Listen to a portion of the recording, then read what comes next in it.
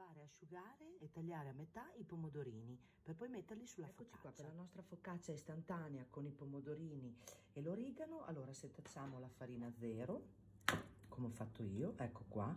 Poi aggiungiamo l'olio.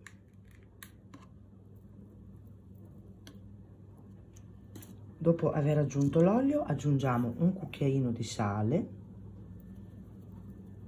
Eccoci qua mescoliamo un attimo leggermente e poi aggiungiamo l'acqua.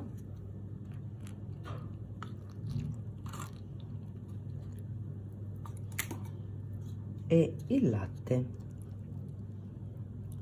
Io uso sempre il latte parzialmente scremato.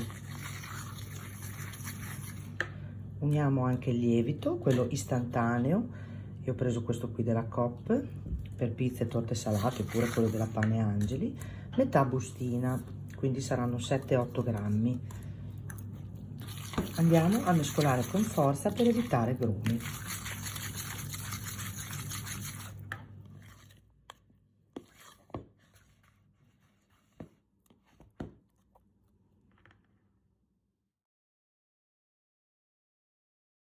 Eccoci qua, abbiamo messo il nostro composto nella, in una teglia, mi raccomando carta da forno perché se usate l'olio magari poi non si stacca.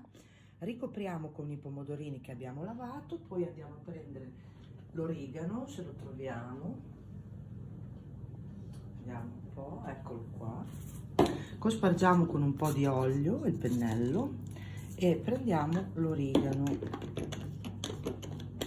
che andremo a mettere un po' sopra così.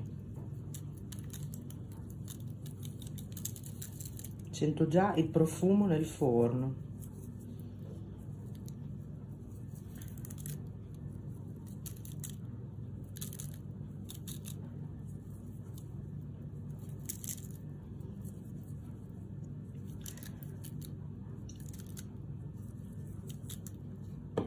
Voilà